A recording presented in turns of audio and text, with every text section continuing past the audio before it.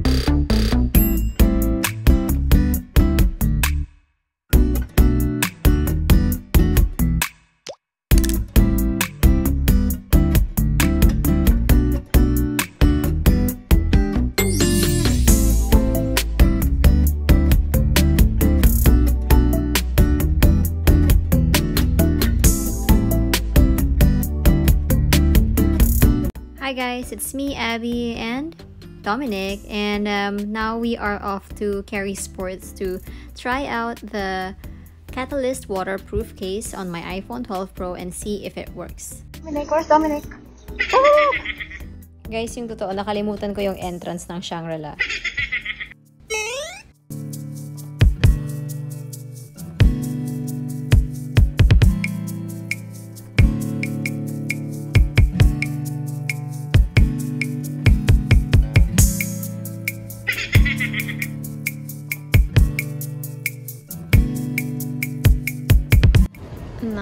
It's ready.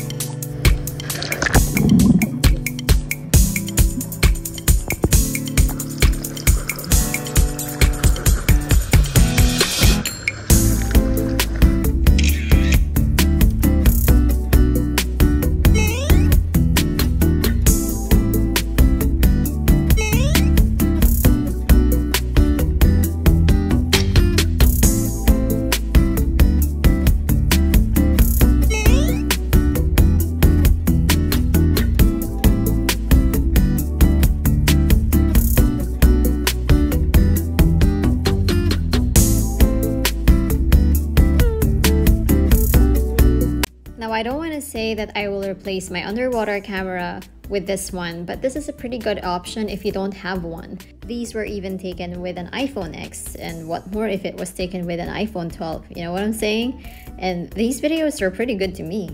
Of course, I will not take my phone diving, that's too crazy, but for shallow waters like this, and when I go snorkeling and I don't have my underwater camera with me, I think that this is a good substitute.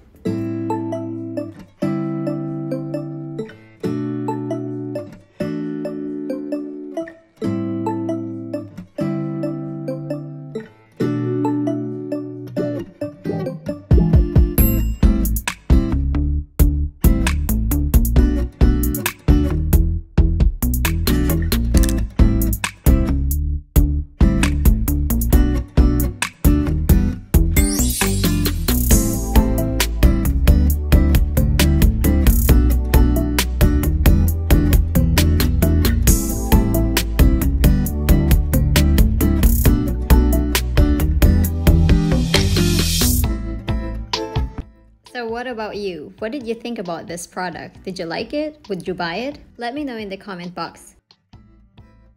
Thank you so much for watching our video. Stay safe guys!